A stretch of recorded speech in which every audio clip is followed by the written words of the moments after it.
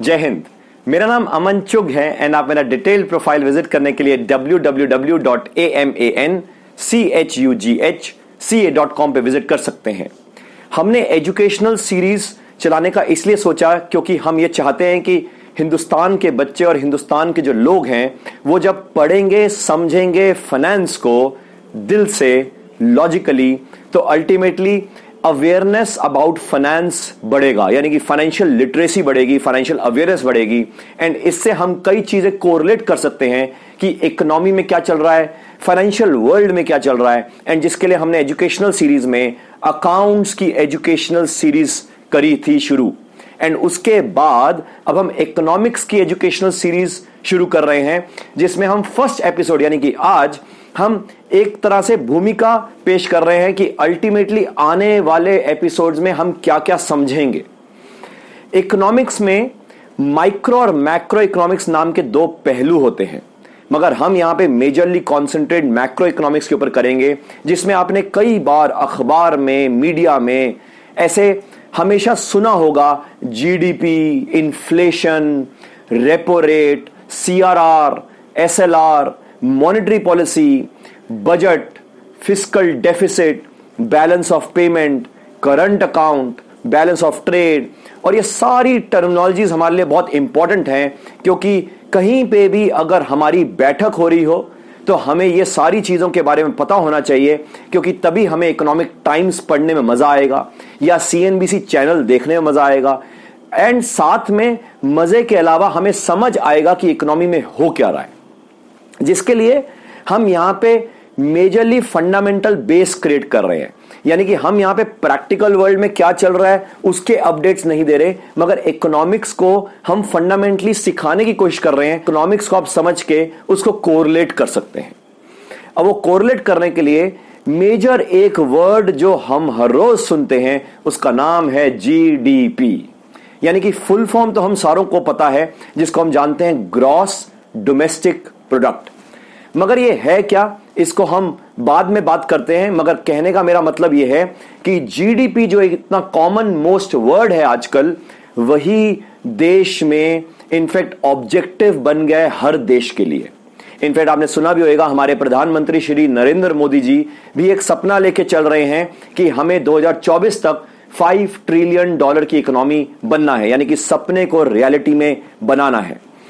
At present आज हमारी economy की जीडीपी अंदाजन थ्री ट्रिलियन डॉलर है एंड यानी कि हम बनना चाहते हैं फाइव ट्रिलियन डॉलर इकोनॉमी अंदाजन आज से पाँच साल के बियॉन्ड यानी कि अंदाजन 2024 तक हम अंदाजन थ्री ट्रिलियन डॉलर इकोनॉमी से फाइव ट्रिलियन डॉलर इकोनॉमी बनना चाहते हैं.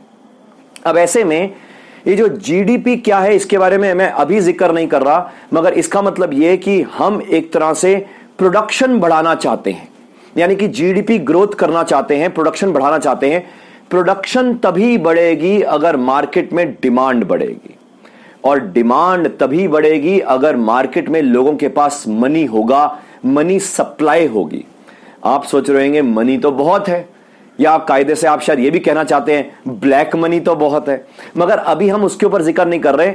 मोटा मोटा हमें यह समझना है कि अगर लोगों के पास बाइंग पावर होगी मनी सप्लाई होगा तो ही लोग डिमांड करेंगे एंड जब लोग डिमांड करेंगे तो ही प्रोड्यूसर प्रोड्यूस करेगा। यानी कि डिमांड जब होगी, तभी प्रोडक्शन होगी, और तभी जीडीपी बढ़ेगी। मगर जब डिमांड होती है, और जब डिमांड अच्छी होती है, जब परचेजिंग पावर लोगों की जेब में जब पैसे होते हैं, यानी कि विलिंगनेस भी होता है, और कैपेसिटी भी होती है पैसा खर्चने की तो तभी महँगाई भी बढ़ती है। यानी कि इसका मतलब ये महँगाई बढ़ना भी एक देश के लिए बहुत ज़रूरी होता है। क्योंकि अगर देश में महँगाई ना बढ़ रही हो तो इसका मतलब ये कि वहाँ पे डिमांड नहीं है। मैं ये नहीं कह रहा कि महँगाई बढ़े और वो हमेशा अच्छा होता है। डिपेंड करता है महँगाई किस कारण बढ़ रही है, जिसके बारे में भी हम ज़िक्र करेंगे आने वाले एपिसोड्स में। फिर साथ में जीडीपी और ये जो महँगाई है इसको मैनेज करना बड़ा ज़रूरी है, क्योंकि हम चाहते हैं कि महँगाई बढ़े, मगर साथ में हम चाहते हैं कि हमारी देश की इकोनॉमी भी बढ़े, यानी कि जीडीपी ग्रो हो। जीडीपी का मतलब क्या है, मैंने अभी नहीं समझाया, मगर आप अभी फ़िलहाल ये समझ सकते हैं कि हम चाहते हैं कि हमारे देश की जीडीपी बढ़े, और हम ये भी चाहते हैं कि महँगाई भी बढ़े, क्योंकि महँगाई तो बढ़ेगी ही बढ़ेगी, मगर ऐसे में हर देश ये चाहता है कि जीडीपी की ग्रोथ महँगाई की ग्रोथ से ज़्यादा हो। अब ऐसे में जीडीपी ग्रोथ महँगाई की ग्रोथ से ज़्यादा कैसे होगी, उसके लिए दो तरह की पॉलिसीज़ होती है इकोनॉमिक पॉलिसीज़ होती हैं, जिसमें से एक तरह की पॉलिसी नॉर्मली देश का सेंट्रल बैंक चलाता है, जिसको हम बोलते हैं मॉनिटरी पॉलिसी एंड इसके बारे में हम फिर एपिसोड में ज़िक्र करेंगे। और एक दूसरी तरह की पॉलिसी होती है, जो नॉर्मली उस देश की गवर्नमेंट चलाती है, यानी कि सेंट्रल गवर्नमेंट प्राइमरीली चलाती है एंड उसको हम बोलते हैं फ़िज़िकल पॉलिसी जिसके बारे में भी हम ज़िक्र करेंगे।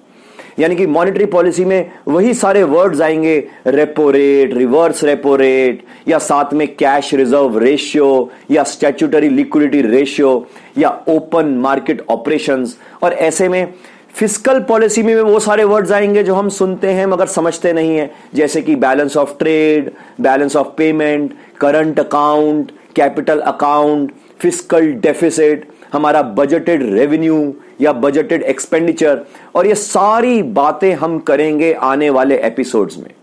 यानी कि हम एजुकेशनल सीरीज़ ऑन इकोनॉमिक्स में ये जब सारी चीज़ें समझेंगे तो हमें फंडामेंटली समझ आएगा कि इकोनॉमिक्स क्या होता है एंड उससे हमें शायद आने वाले समय में इकोनॉमी में क्या चल रहा है मार्केट्स में क्या चल रहा है, वो हमें समझ आना तेज़ी से शुरू हो जाएगा।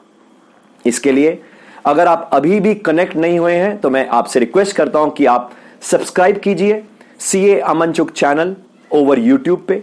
आप फॉलो भी कर सकते हैं मेरे को इंस्टाग्राम पे। कनेक्ट हो सकते हैं मेरे साथ फेसबुक एंड लिंक्डइन पे।